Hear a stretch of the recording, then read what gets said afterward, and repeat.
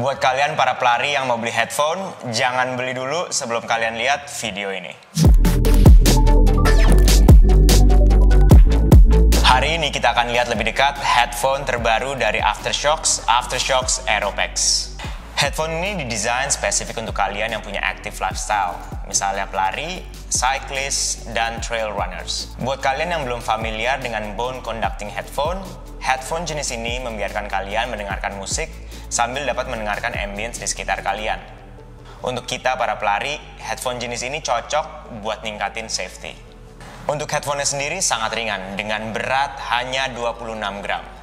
Ketika digunakan, kita impress banget dengan experience-nya. Headphone ini tetap pada tempatnya walau kepala terguncang-guncang.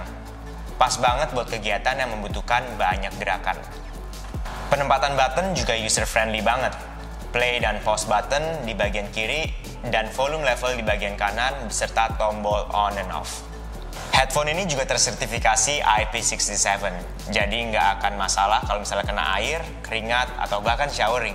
Dari segi battery life, headphone ini bisa tahan sampai 8 jam. Jadi kalau misalnya kalian mau ikut maraton atau ultra running yang di bawah 8 jam, headphone ini cocok banget buat kalian. Downside dari Aftershocks ini mungkin suara bassnya yang kurang keluar dibandingkan dengan headphone-headphone lainnya. Cuman kalau misalnya kalian bisa kompromi dengan suara bass itu dan kalian membutuhkan uh, kenyamanan lebih saat berlari, ini mungkin bisa jadi pilihan yang tepat. Kita udah cobain headphone ini selama 3 minggu dan kita sangat rekomendasiin untuk kalian para pelari untuk dapetin Aftershocks Aeropex.